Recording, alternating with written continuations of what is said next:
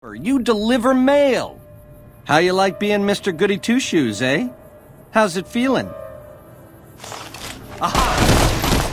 Hello, Fallout fans. Did you spot the mini nuke tucked under the table at Ma June's shop in Filly? That was one sneaky Easter egg, wasn't it? Also, the dangling green mutant arm from the second episode. And no one could have missed the not so subtle hint that Deathclaws are coming to haunt the wastelands soon. These clues in the first season of Prime Video's Fallout series are delightful little gems for true blue fans of the gaming franchise. Set in the distant post apocalyptic future, the Fallout games have been around since 1997, garnering a massive fan base, and the TV series caters not only to that eagle eyed audience, but also welcomes new viewers of the franchise, all of whom are now eagerly waiting for updates about the second season. Yes, it's happening for sure, and New Vegas is going to be a significant location in it. That's pretty much all we know so far, and fans want it to be jam packed, with all possible Fallout elements that didn't make it into the first season. Let's say we want Gary clones, and some glowing ghouls, and some centaurs, and more dark vaults, and okay, we need to stop. You get the drift, right? But what about some of the coolest Fallout characters that should make an entry in Season 2? Today's video is just about that. Let's begin, shall we?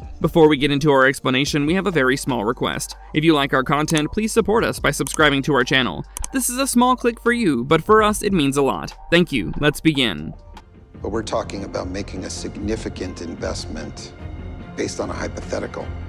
Mr. House. First on our list is Robert House, aka Mr. House, the mustachioed controller of New Vegas, who made a cameo in Season 1. He appeared in the final episode in Flashback, in the scene where the economic and tech powers of the world were brought together by Vault-Tec to decide the future of humanity. As the top boss of the tech company Robco, Mr. House obviously got a seat at the table and raised concerns about the practicality of Vault's tech bunkers. In the games, Mr. House founded Robco and became a multi-billionaire owing to his scientific genius and business acumen, who predicted that a nuclear war is inevitable in the near future with complicated mathematical calculations. When Mr. House learned that Vault-Tec was willing to drop the bombs themselves, he took technologically advanced measures to secure Las Vegas, such as setting up devices to disable the incoming nukes and destroy those who would manage to get through. To ensure that he lives to see the world after the Great War, Mr. House performed augmentations on his body, placing his physical self in a life support system and connecting his brain to a supercomputer. After the Great War, Mr. House became the enigmatic controller of of the New Vegas Strip and operated from within the Lucky 38 Hotel and Casino, with the mass produced robot Securitrons under his command. His ultimate aim was to re elevate New Vegas to its former pre war glory through his mathematical deductions and lucrative trade deals. As per his own word, he has no interest in controlling others. But autocracy?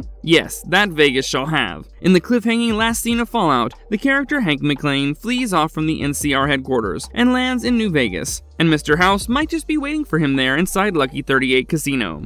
You'll pay you dare you!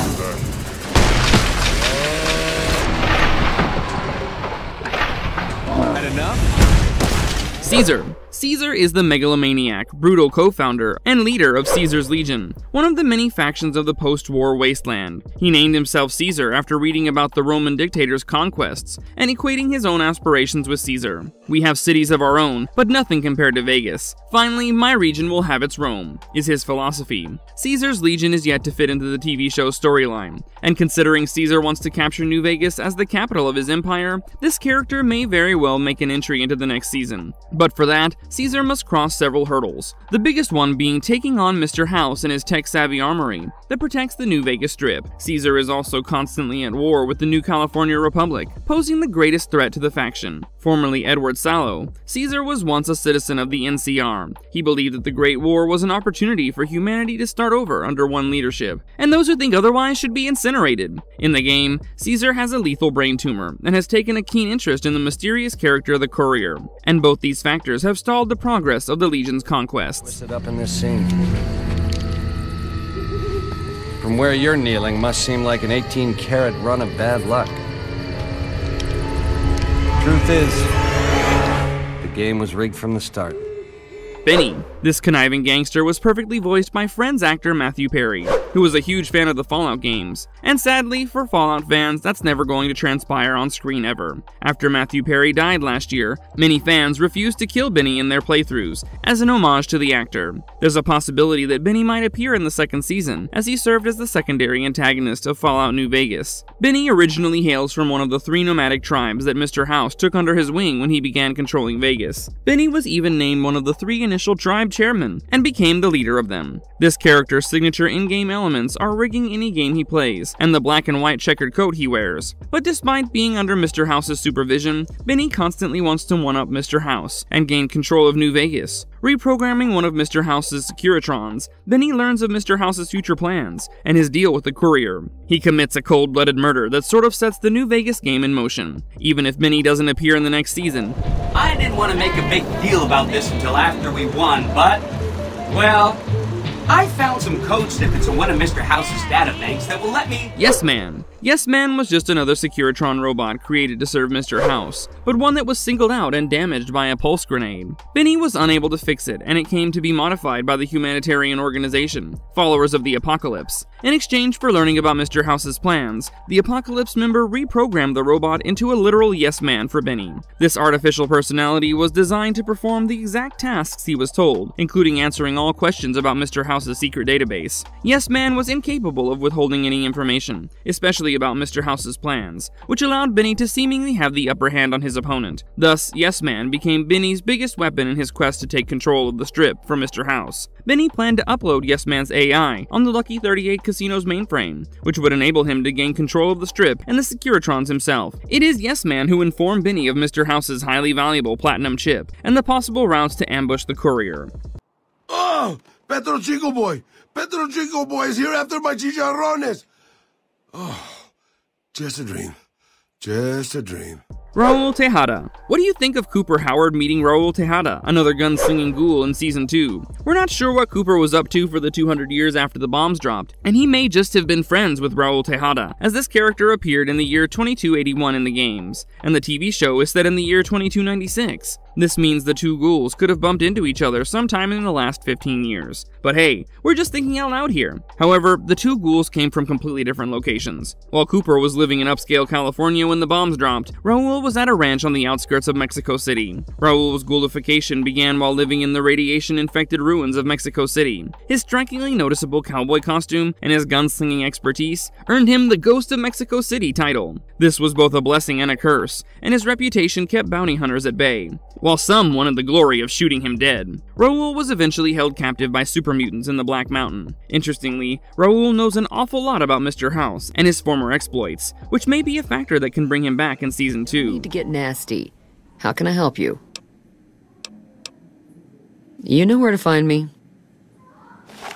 The Courier. Now, who is this courier that we keep talking about? As fans would know, this is the main protagonist and the player character of Fallout New Vegas, whose fate changes after Benny shoots this character at the beginning of the game. Presumed dead and abandoned at the Good Spring Cemetery in the game's introduction, the courier turns out to be pretty much alive. Now it's up to the player to shape the courier as either a villain or a hero through the rest of the game. As the courier's name suggests, this character was transporting the Platinum chip designed by Robert House to the Vegas Strip and was ambushed by Benny on the way. The courier was shot in the head by Benny and buried alive in the Great Khans, but the character managed to survive till Victor, a Securitron, recovered the courier. It'll be interesting to see how this player character storyline unfurls in the live action version, as this character gets multiple endings in the game based on the player. Whitelegs seem to be the only visitors we have these days, and I wouldn't have expected anyone from the Mojave to come looking for us. Joshua Graham. Remember we said Caesar was infamous for his brutality? He didn't even spare his legion's co-founder Joshua Graham. Originally a member of the Mormon faith, Joshua Graham is just mentioned in the New Vegas game, but appears in the add-on Honest Hearts. Joshua Graham formed Caesar's legion along with Caesar, based on brutality and fear. For joining the legion, Joshua betrayed his own people and turned into a monster that feeds on atrocities and war, till he became a victim of it by Caesar. This character could very well appear on the show, owing to his connection with Caesar and the legion. Joshua led Caesar's legion to a humiliating defeat at the First Battle of Hoover Dam, which infuriated Caesar enough to call for his partner in crime's execution. Joshua was covered in tar, set on fire alive, and then dropped into the Grand Canyon. He survived and came to be known as the Burned Man of the Wasteland. Joshua was immune to chemicals and medicines, and hence he had to tolerate the pain of replacing his bandages every day to prevent his oozing skin from infection. He traversed 400 miles for 30 days to reunite with his original tribe, who he had abandoned for Caesar's legion, and he was welcomed back like the prodigal son. When the legends of the Burn Man reached Caesar, he issued a death order for him. Joshua Graham eventually adopted a forgiving attitude towards Caesar and became the leader of the Dead Horses tribe. Welcome to Jacobstown, human.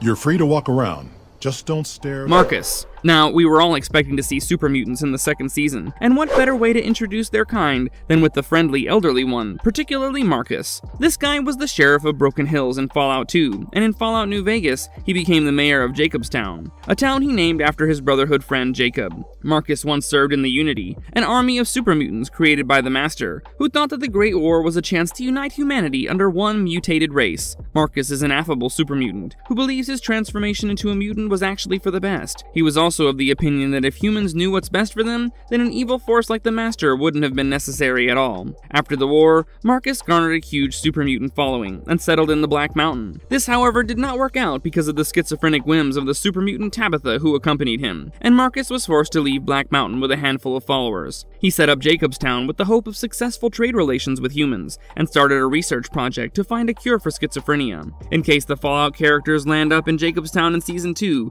they might just encounter Marcus as the town's mayor. I don't know how to thank you for bringing Rhonda back to me, stranger.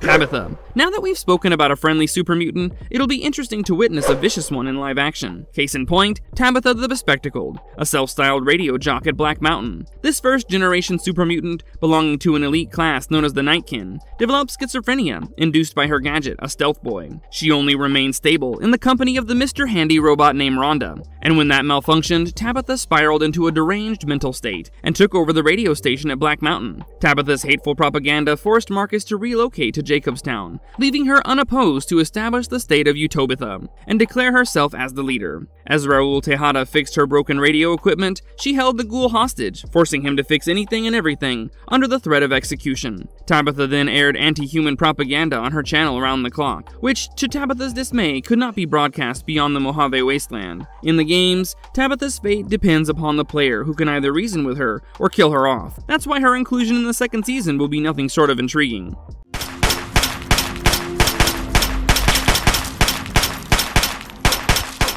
DJ Three Dog. We can't talk about radio and not mention Three Dog, the host and DJ of Galaxy News Radio in Washington, D.C. It's the year 2277, and Three Dog plays songs that were all the rage in the pre war era, and also the ones that would have been aired if the bombs hadn't been dropped in 2077. Born in the post war wasteland, Three Dog became an advocate of free speech, and also happened to stumble upon the radio station in D.C. On air, he imparts exactly that philosophy, takes digs at the evil paramilitary organization, the Enclave, and counters them for their hateful propaganda.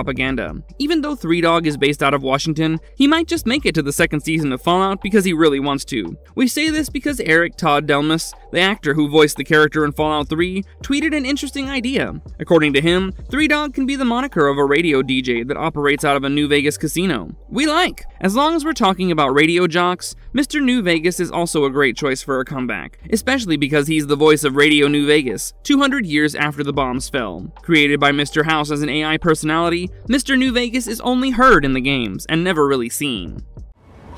You know what? I think I'm turning into a ghoul. Moira Brown. This self taught inventor and science enthusiast is like a breath of fresh air in the post apocalyptic world. Moira Brown runs the Crater Side Supply Store within the fortified settlement of Megaton in the capital wasteland. The store, open from 8 to 8, also serves as her home, where she conducts all sorts of bizarre experiments. Moira Brown wants to help the survivors of the wasteland lead a better life and hence authors the Wasteland Survivor's Guide. But completing her guide was a struggle, as she constantly required volunteers to test practical situations out on the wasteland. Completed in 2277, the Survival Guide was published 10 years later, and became increasingly popular for its insights into survival strategies, hunting, farming, and even recreation for the wasteland folks. By the year 2297, Moira manages the subscription demands of her survival guide, and also began working on the biography of the lone survivor. Since the events of Fallout Season 1 wrap up in 2296, Moira fits into the timeline for the season just perfectly.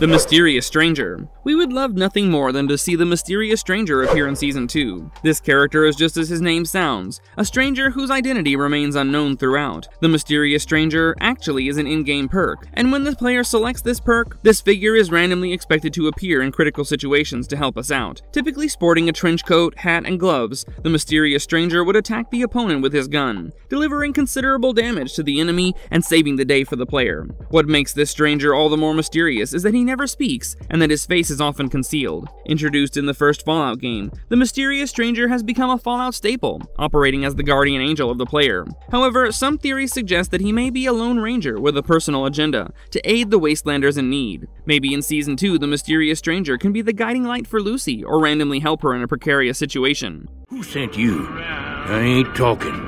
They tried to get me to talk before, but I didn't say nothing.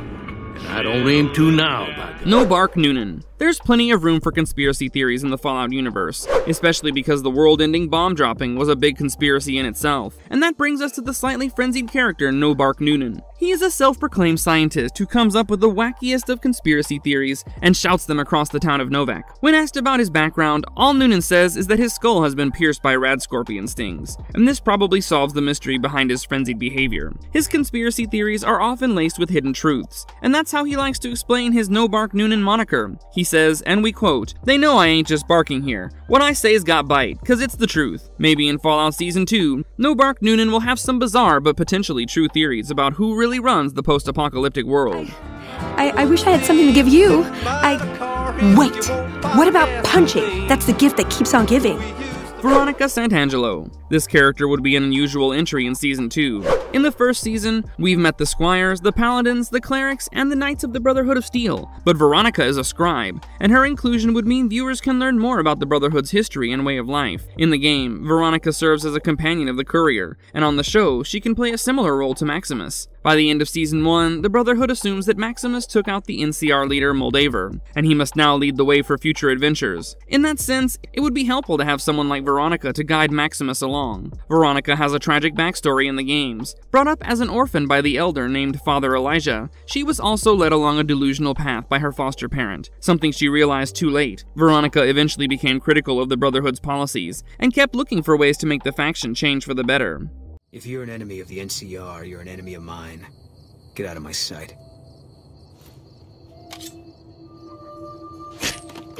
Craig Boone. Last but not least, one character that has the potential to be an impactful antagonist in the second season is Craig Boone, a product of tragedy. He started off as a remarkable sharpshooter for the National California Republic, but the massacre at Bitter Spring shook him to the core. He was consumed by guilt after shooting down innocent civilians in order to kill the Great Khans. Boone eventually found peace with a woman named Carla, who soon became his wife. When Carla was pregnant, she was kidnapped by Legion slavers, which led to two tragic incidents. First, Boone realized that his best friend had something to do with Carla's disappearance, and second, Boone had no choice but to find and kill Carla in order to save her from being auctioned off by Legion slavers. Craig Boone returned to his duties as a town watchman in Novac, but was completely filled with rage and anguish. Such a character, consumed by hatred and vengeance, is a suitable fit for the new antagonist in Fallout 2.